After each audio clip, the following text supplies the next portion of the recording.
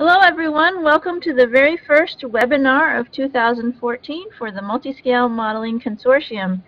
I'm very pleased to introduce uh, Dr. Uh, Teresa Pitts.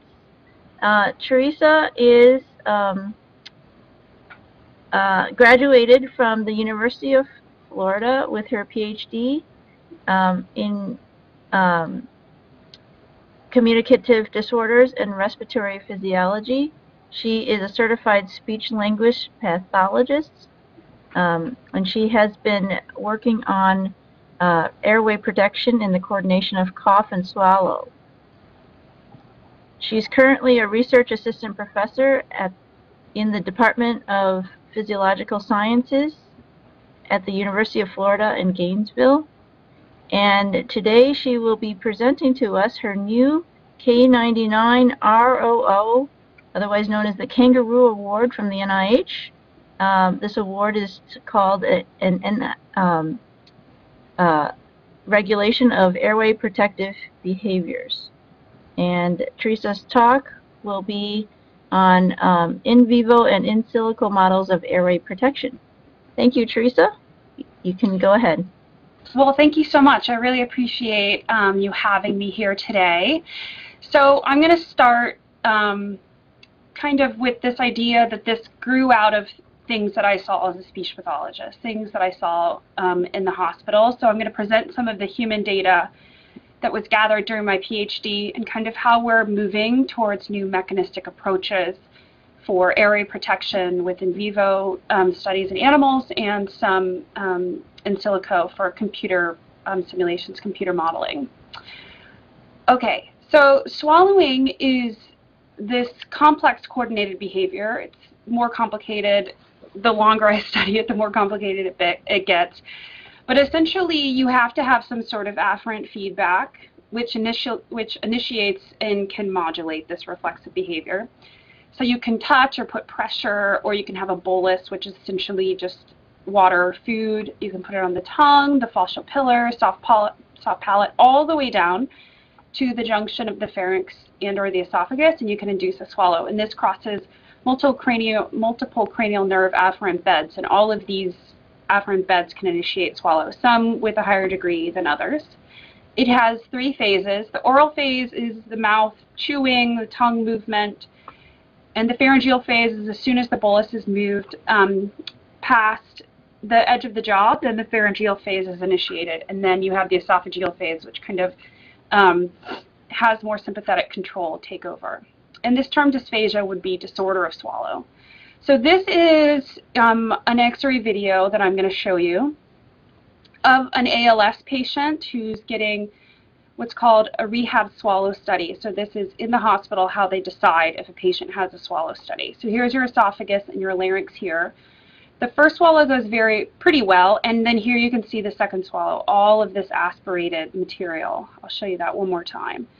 So this first swallow goes pretty well, and then we're going to watch here. This is the larynx entrance down to the lungs, and you can see all of that material and passes down in there. And so the idea is that when we evaluate them for dysphagia, one of the big complicating factors is whether or not they cough in response to that aspiration. And so this ALS patient did not.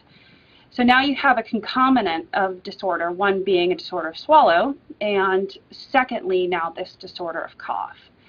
So cough is a protection behavior, protects the pulmonary system by generating these high expiratory airflows that create a scrubbing action. Essentially, you have this very high linear airflow, about three-fourths the speed of sound, and it aerosolizes what is in the airway and moves it out. And so you classically have three different phases, an inspiration, glottal closure, which is closure of the larynx.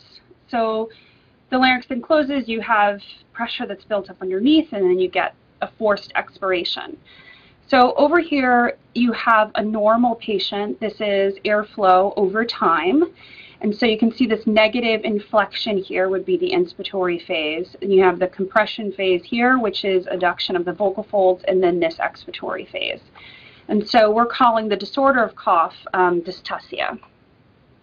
Okay, so we do take cough measures. Um, and they've been defined in some of the things that we've published, but we're looking at classically the inspiration, the compression, and the expiration um, phase. We're interested in the maximum peak flow that's produced. We're interested in the time it takes to get to that maximum peak flow. Um, and then we're interested in something called cough volume acceleration, which is the peak flow over the rise time. This gives us some metric of how effective a cough actually is. But now in humans, we have this added disadvantage called gravity. And so this is just a, an idea of, of how when you move from animal to human, you have some additional factors. Okay, so this Ross paper was really fantastic in kind of beginning to explain what's happening against gravity. But what we have here is mouth um, down to the lungs of the alveoli, and this patient has aspirated something, so we have some sort of liquid down at the alveoli. And so as a cough is produced, you have this theoretical equal pressure point. Um, so north of the equal pressure point, these um, this is going to be aerosolized and removed. South of the equal pressure point, you are going to have um, compression on this alveoli here. And so then as it produces the squeezing effect during that compression, then it can be removed on the next cough effort. So humans actually cough not inspiration, compression, expulsion, but they actually begin to cycle between compression, expulsion, compression, expulsion to lower and lower lung volumes, which allows for greater clearance against gravity.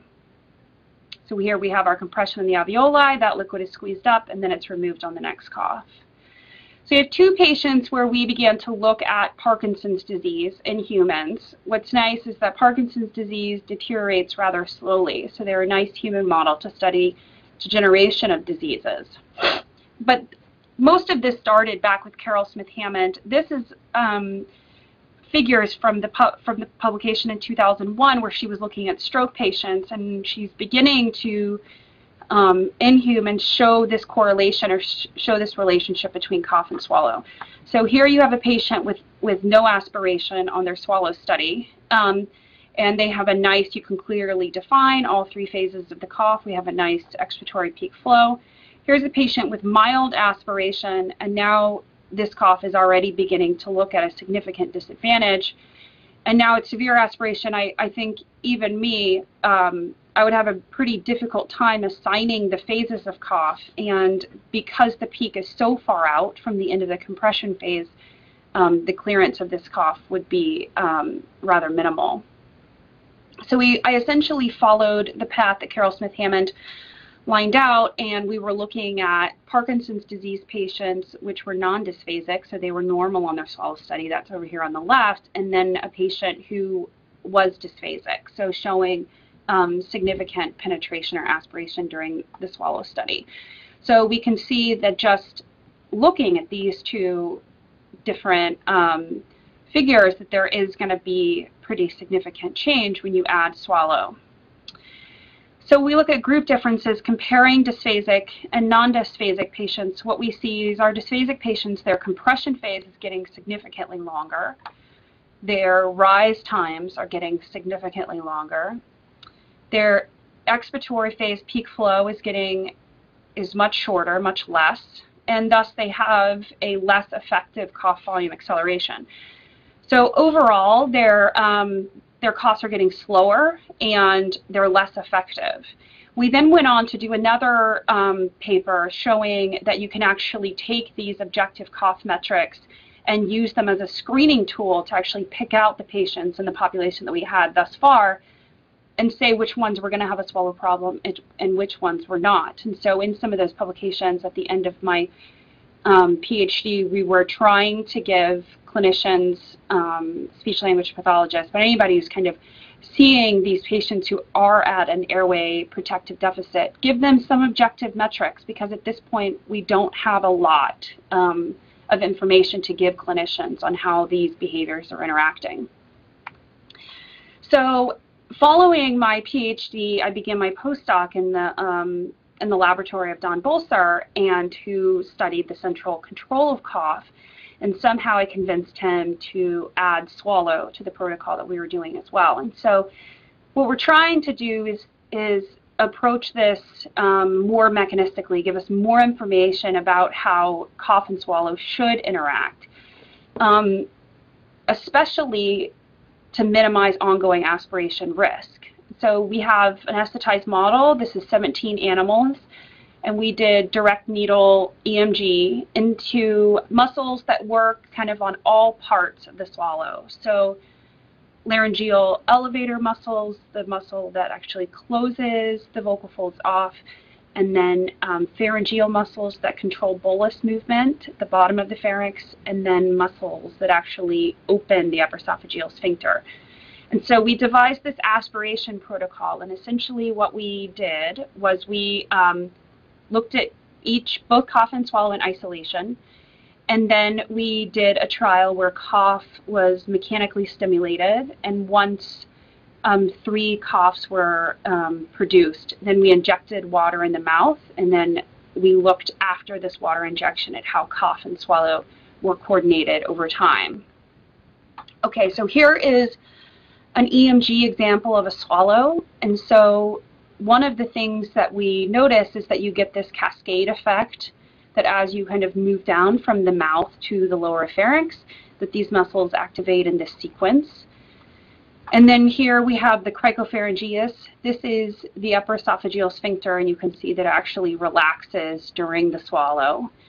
The parasternal is an inspiratory chest wall muscle, and so this is a little um, activation of inspiratory muscles, the diaphragm does the same, but it helps to produce this negative upper esophageal, I mean esophageal pressure inflection. And so we're essentially, like I said, recording down this pharyngeal phase sequence for swallow here.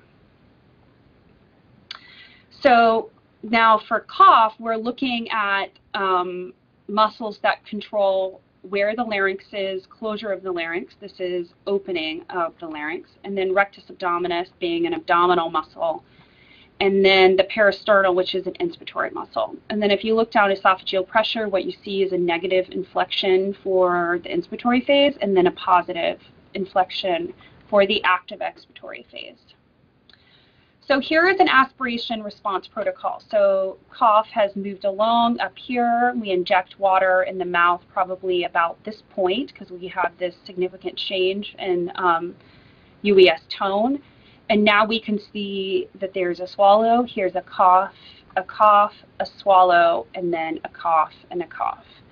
And so what we're beginning to use terms like meta behavior to describe this aspiration response, that these behaviors are not solely individuals at this point, but they're working together in this coordinated um, manner to clear the airway and then reduce any ongoing aspiration risk.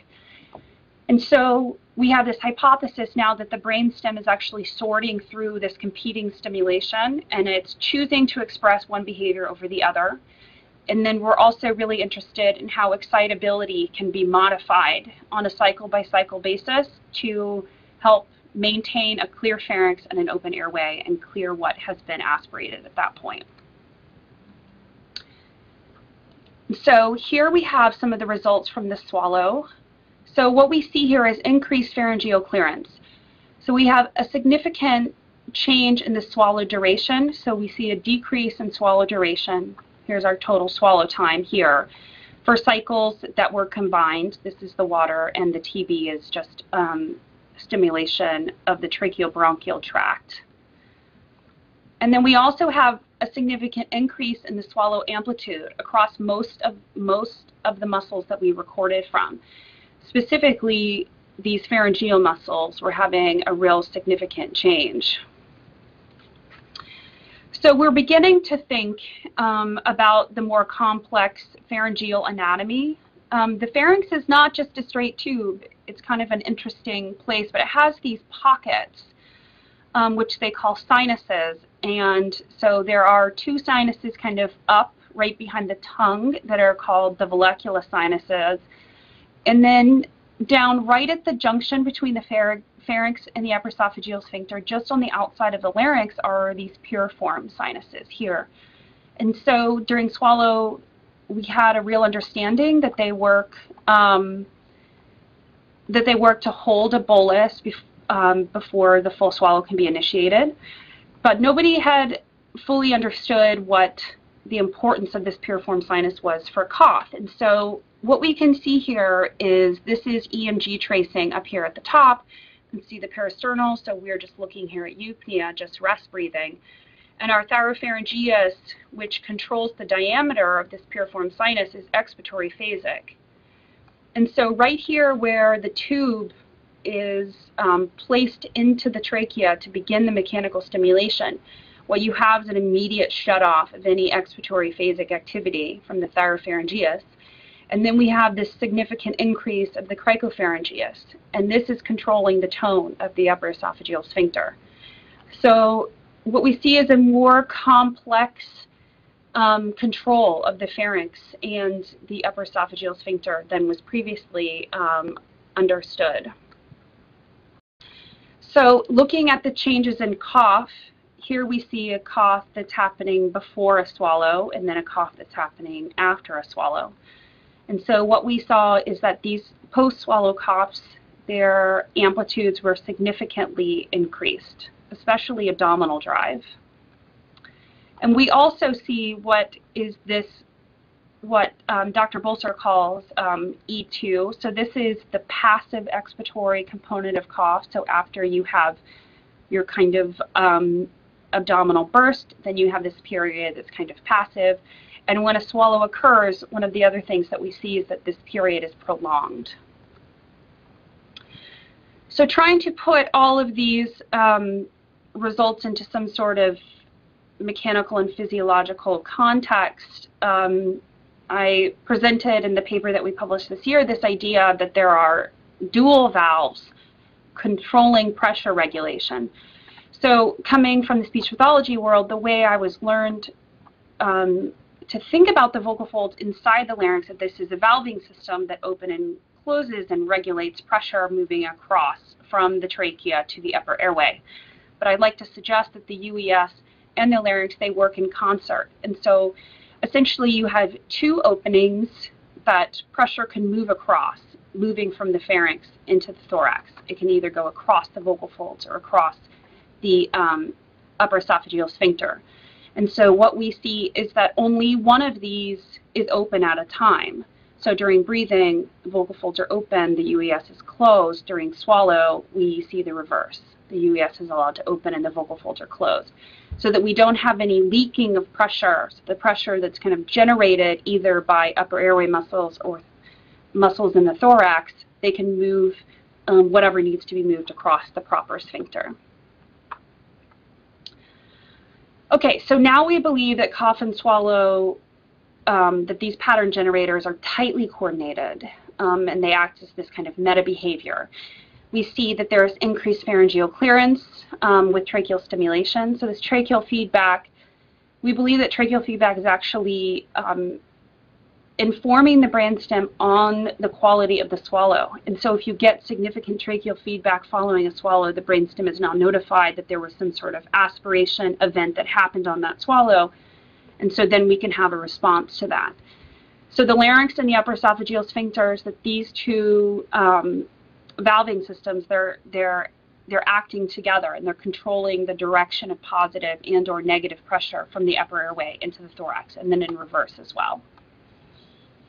Okay, so this is kind of moving on. So now we have a better idea about um, how cough and swallow are interacting. And so we're expanding the computer simulations that are going on.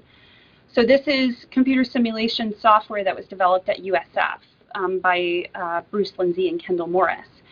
And so one of the first things that I wanted to do was to add um, some effects of short and long-term inhibition um, that afferents don't provide a super stable um, feed um, back to the brainstem, but it kind of can shift over time. And so I wanted to give us a better control of um, behavior excitability. And so in 2011, this paper was published with the USF and UF group. Um, Ivan Poliacek was the lead author on this. But essentially, um, the way cough was modeled was there was a straight square wave second order afferent um, fiber input into the cough pattern generator, so what you got was a pretty straight line lumbar and phrenic output. But cough um, is actually not that way when you look at it in vivo. So this is um, some in vivo data. So this is repetitive coughing. And so what we see is this kind of bell-shaped curve where the first cough in the sequence is um, has the lowest amount of excitability, and then to about the eighth or the ninth cough, then you have um, a higher amount of excitability, and then it can fall off over time. So the first aim of this um, project, which we're working on getting publishing now, was to create a more dynamic expiratory drive especially during these successive coughs. So here's actually some numbers taken from some in vivo data averaging um, six animals over time. And so the first cough here is the lowest, and then these are um, t-tests looking and comparing to the first cough in the sequence. And you get um, to the fifth, sixth, seventh. This is when they start to get significantly larger than the first, and then it kind of um, shapes off over time. And so what I did was I added a feed-forward population, which um, had feed-forward inhibition onto this second-order population here. And so instead of modeling to have um, kind of this increasing excitability over time, I modeled it by having a decreasing inhibition over time. The other thing that we had to do is we had to really increase the number of terminals, the number of places that this population was interacting with this population to smooth out because we were, by having um, less um, terminals in the, in the actual simulation, we were getting this um, rapid change in excitability and so the motor outputs weren't looking um, right. So one of the things that we now know from some recent um, publications is that this might actually be the case is that as you move up in the processing population you have more and more neurons which are responsible for processing some of this feedback in order to smooth out any rapid changes in excitability effects. And so the first kind of big change in simulation that we did, here's our second order population, here's our feed forward inhibition, and now we are getting some shaping on our lumbar drive similar more to what we're seeing with in vivo. But when Ivan Poliacek looked at this, he had some problems with these E2 durations that were at the end. So one of the things that we know is that as excitability falls off, the interburst interval between these coughs should prolong. And so the first iteration it did not prolong. And so one of the other, the next kind of goal of this project was to align the spatial, temporal, and motor drive features um, that look more like in vivo. So one of the first things that I had to do is I had to split the inspiratory and the expiratory drive. So creating um, these two divergent populations and they have the same feed-forward inhibition onto both of these populations. And Dr. Bolser and Mutolo had kind of um, written some papers suggesting that there might be this differential control with cough by some work that was done in actual cough suppression. And so this hypothesis is out there. I just actually added it to the model that we're now currently using. Now, to give me more control over this E2 duration, the, the big relationship here are the the neurons that are occurring at the very end of expiration, these would be the E augmenting lates, and then the neurons that are occurring right at the beginning of inspiration, which would be the IDEX, the I decrementing neurons. And so by modifying this um, reciprocal in inhibitory population, essentially how we have it now is that as the expiratory drive decreases, these um, these intervals um, decrease as well, I mean increased. And so here was our previous model iteration, and now here we are, We're at the end of these simulations we are actually getting prolongation of um, E2. And so one of the reviews that we have been getting in some of our um, grants and publications is to to do more model specificity to have a better idea about how our model's actually aligning with what we see in vivo. And so this is one of um, the metrics that we're trying to use where we actually take um, the simulation and we add um, some variability within it by these random seed numbers that are a part of how the populations are built. And so you can run multiple model iterations, then taking actual um, duration and amplitude measures off of that and comparing them to what we see in vivo. So I took the Poliacek model, which was published in that 2011 paper, and we're comparing all durations to total cough duration, and this is in vivo data. So you can see that the previous model did not align very well with the in vivo model, but this is our revised model, and so now if looking at the I and the E and the amplitude, we're looking much better. This model here now is comparing much better to what we actually have measured from in vivo. And so we're now um, kind of at a place where we can um, model some really significant dynamic features of in vivo repetitive cough.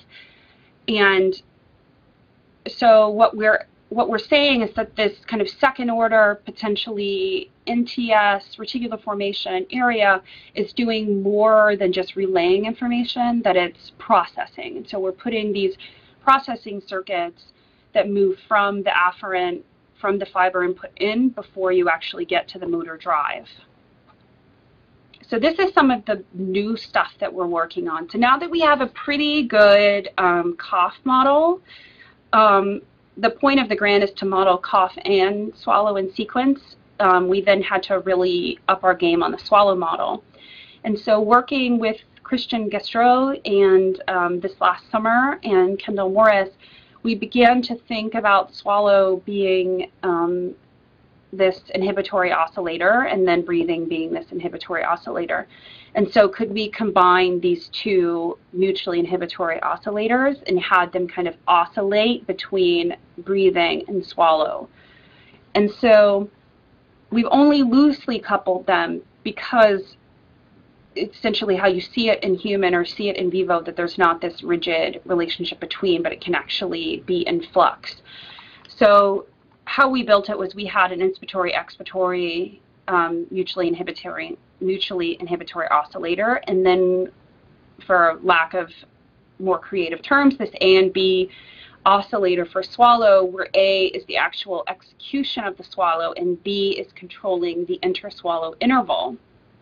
And so this is some of the model outputs we actually, hypoglossal is um, how we're representing swallow, phrenic is for breathing, and then we have lumbar down here. And so you can actually see that the swallow and breathing, that they are interacting in a way that looks a lot like how in vivo data looks.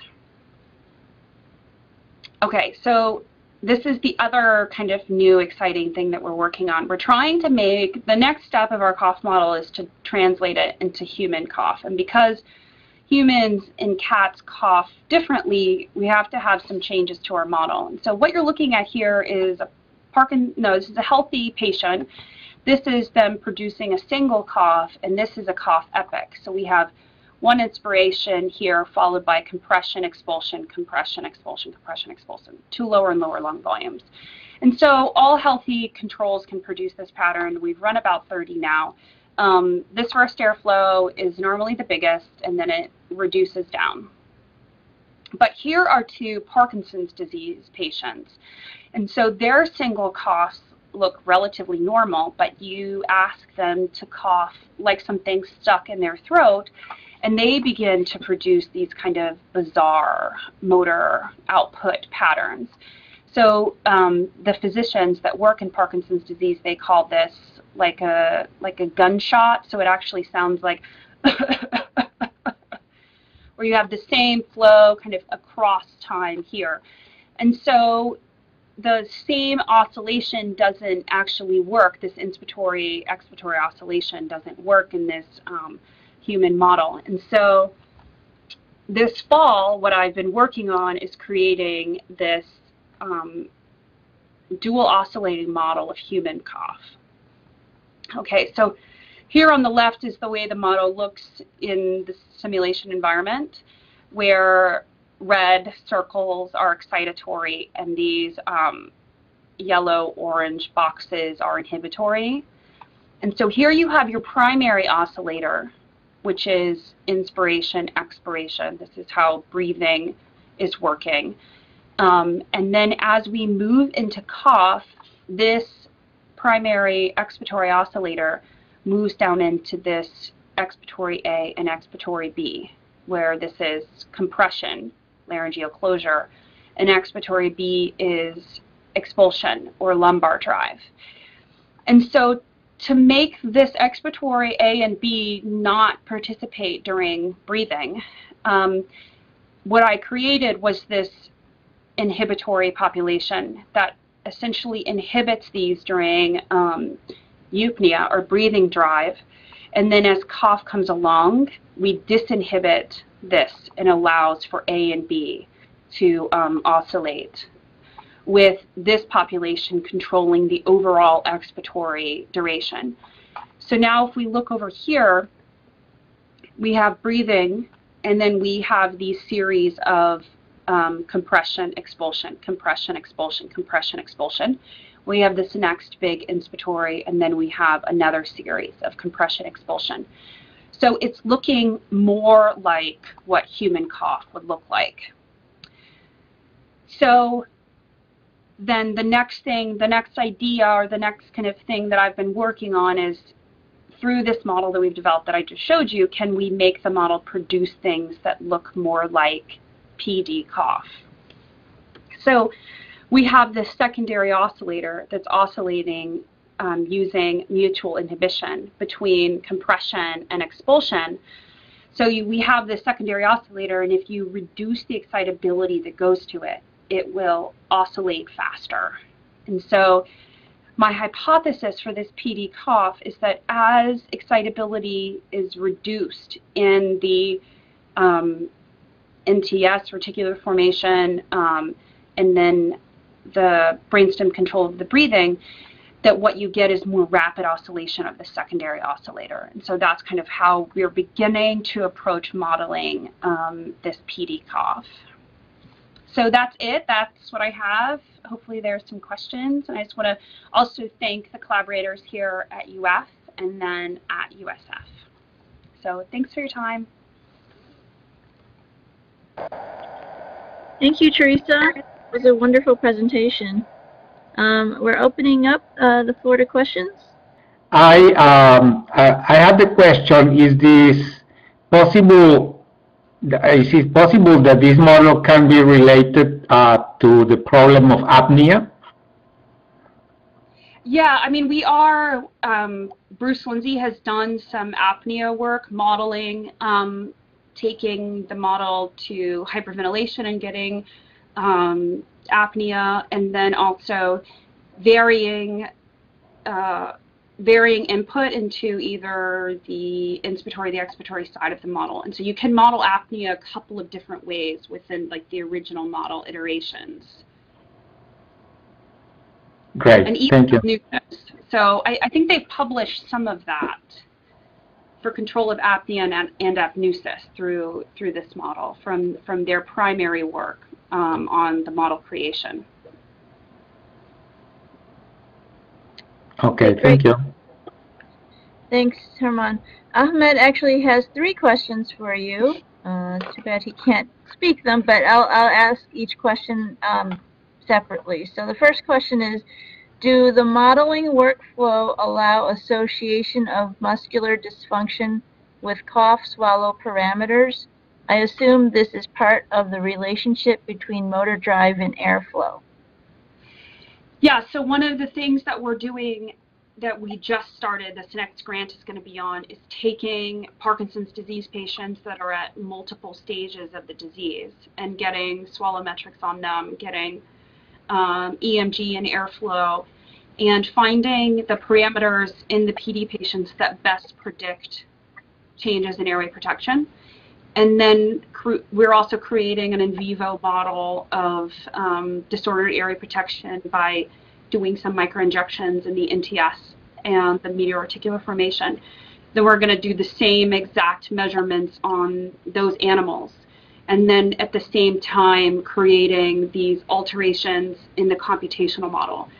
And all of these are going to be fed into these um, logarithmic equations for prediction of degree of impairment. And so kind of the next step is to really make it translational. Um, one of the hard things in Parkinson's disease is that as you move along in the stages, the amount of patients you can get your hands on um, gets less and less. And so what we're hoping is that the computational model can feed in um, smaller changes in impairment um, to fill out a data set to look more complete, make it more predictive essentially. So we're trying great. all of those things. and Bruce Lindsey has made the model actually produce airflows now. We showed that at Experimental Biology and they published that this year. So um, Russell O'Connor actually fed in human mechanics of breathing. And so now you can take the integrated um, drive from the phrenic abdominal, abdominal and the laryngeal, and it will actually produce airflows that look like human cough. So we're working on that aspect as well. Okay, Ahmed, second question is, is it possible to add another dimension to this research program to explore the links between cough characteristics and stress incontinence? In other words, involuntary urination. I think cough is used for that. Um, and there was somebody in the cough world that was trying to relate those things together. And I think that Don had done some work on urinary sphincter, but at this point we don't have anything that's kind of moving, you know, in that direction anytime soon. But if you have some data you want to share, I'm sure we could put it in the model. Okay, great. Um, and, and Ahmed's third question is, where in the modeling and simulation framework evaluation of interventions can fit in? So I think that when you vary excitability, if you believe that your intervention is one, increasing afferent input in, it can be changed through the fiber.